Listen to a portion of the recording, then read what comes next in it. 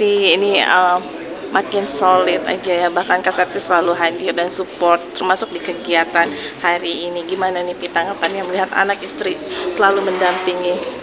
Alhamdulillahnya ya jujur dia juga lagi sakit ya. Bundanya lagi sakit tapi mau nonton. Tapi ya kira hasilnya kurang maksimal ya. Aku juga agak sedih sih tapi nggak apa-apa. Ini malah jadi cambukan bagi aku supaya bisa evaluasi lebih bagus nanti timnya. Tapi sebenarnya tim udah udah berusaha sih. Memang nggak tahu tuh gawangnya kayak gimana. Udah berusaha sebaik mungkin tadi pemain. Memang nggak masuk. Biasanya kayak gitu masuk ke gol biasanya tapi ya itulah sepak bola. Ya sekali lagi dia lagi sakit nih juga lagi sakit. Ya yang cowok makanya digendong terus. Ya makasih lah karena aku pribadi setiap pertandingan minta doanya supaya menang. Penting kan doa doa istri. Doa ibu sih. Aku kan gak ada ibu ya. Jadi jadikan istri doanya. Kak Septi mensupport Bang Putra untuk berbagai hal termasuk uh, lagi serius nih di bidang perbolaan Ya. Selalu Supportnya support. bentuk kayak, kayak kayak gimana? khawatir nggak sih takutnya amit-amit kayak kejadian kanjuruhan gitu kan Enggak sih kalau dia memang pengen apa hobinya terus terjalan aktivitasnya harus selalu support apa pun yang dia mau selama itu baik harus support. Nah, kalau dari eh, Bang Putra sekarang kan katanya lebih sendiri lagi untuk mengurus ini ya. Tapi eh, apakah mohon maaf komunikasi jadi berkurang dengan Ata atau bagaimana? oh enggak. Kita kan ada project-project lain bukan hanya di bola kan? Gitu. jadi tentunya komunikasi tetap gitu. Tetap jadi keluarga gitu. Cuman ya kan di futsal juga sibuk juga gitu. Tapi memang lebih sibuk di bola sih. Bola wah luar biasa.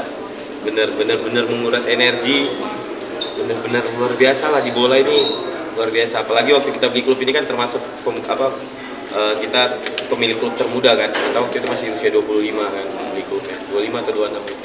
Berarti eh, waktu itu beli klubnya bareng dengan Ata kan? bareng modal bareng. bener-bener bareng tapi karena memang lumayan sulit mengurus di sepak bola akhirnya kita bang Atanya kapok saya kayaknya karena saya fighter ya gas terus gitu. Tapi bang Atta milih di futsal karena dia memang lebih hobi bola. Futsal kan? Berarti eh, sekarang eh, pure ini semua dari Bang Putra untuk pendanaannya. oh iya karena memang sendiri dari saya sendiri Berarti dengan Bang Atta bisa dibilang sudah putus kontrak atau putus kongsi gitu. ya enggak tapi ya kan kita ada futsal juga kan gitu bang Atta di futsal saya di bola Nah ini katanya mau ada project-project lagi dengan Bang Atta maupun artis-artis lain. Boleh tahu nih apa Bang Putra? Ya beberapa ada program kebetulan saya memang bangun beberapa bisnis kan, terutama untuk membantu UMKM. Itu ini juga nanti sama Baby L mudah-mudahan kemarin udah ngobrol juga. Jadi brand ambassador pertama lah Baby jadi brand ambassador pertama saya untuk beberapa project yang mudah-mudahan ya pecah lah. Tapi bantu untuk bantu UMKM. Weh, eh, dengan baby. saya kan ada usaha di fashion ya di baju. Ya baju anak sama couple gitu. Jadi baju anak Eh, aku waktu itu pernah sama istri aku couple suami istri. Tapi ini couple suami istri plus anak gitu jadi kita mau ada project di situ. Tapi UMKM ada 23 yang saya bangun. Sama kayak istri saya juga udah ada parfum terus dia ada Siva eksklusif juga gitu. Dan usaha-usaha lain yang memang bantu UMKM sama nanti pengembangan SDM bagaimana menghadapi marketing digitalisasi ya supaya nggak kaget lagi seperti TikTok Shop dan sebagainya gitu. Jadi itulah tujuannya.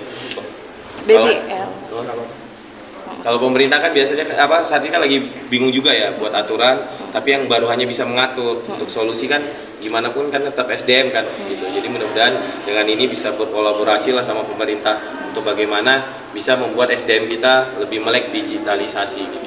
Kenapa memilih baby L? Apakah ini hanya baby L aja atau termasuk dengan Ya pastinya yang- nanti ada baby-baby lain gitu, termasuk Khalid juga gitu. Dia untuk busana muslim anak gitu kan dia Khalid gitu. Nah, nanti pastinya tapi ini untuk trendsetternya memang kita maunya L karena ki- saya pribadi lihat auranya bagus L gitu. Tapi dari dia apa pas diajak sama Ya ayo segera pi, ayo segera pi biar brand lain cepet juga nanti brand lain pasti mau juga kan giling. Dan kemungkinan kalau Papi deal ya bakalan dibuatin Instagramnya BBL gitu. Nah, Dia kan nggak ada Instagram, jadi dibuatin khusus Instagram. Nah, untuk terkait proyek eh, busana tersebut udah dijalankan atau baru direncanakan, Pin? udah dijalankan gitu kan passion memang. Tapi aku sekarang kembali lagi kan ikut segala sesuatu serahkan ahlinya. Nah ahlinya aku baru dapat gitu. Yang memang dia menguasai lama jadi admin di bola juga flashball gitu. Nah jadi dia yang pegang. Kalau ada yang pegang aku baru mau jalankan sesuatu sekarang mesti ada yang ahlinya dulu. Kalau enggak aku nggak mau jalanin karena aku udah tahu hasilnya pasti tinggal tunggu kehancuran kalau misalnya nggak ahlinya tinggal tunggu kehancuran Nah, untuk BBL ini fashionnya lebih ke sport atau semuanya? Nah, itu dia harus dibicarakan. Ada pembicaraan lanjut. Tapi nanti kita memang udah janjian ada mau pembicaraan lanjut. Ini kan juga banyak baby-baby artis lainnya seperti Baby Amina, Moana, Amina Moana, gitu. ya. Nah, itulah nanti jadi trendsetter ke depannya. Jadi bukan orang tuanya lagi, tapi anak-anaknya. Gitu itulah memang tren yang mau kita buat lagi. Karena kalau udah bapak bap mamanya kayaknya ah biasa, ah biasa. Makanya kita harus ciptakan sesuatu yang nggak biasa gitu. Nah, itulah buah dari pikiran kita. Itu yang mau akan kita lakukan. Oke, sip. Oke, makasih banyak ya.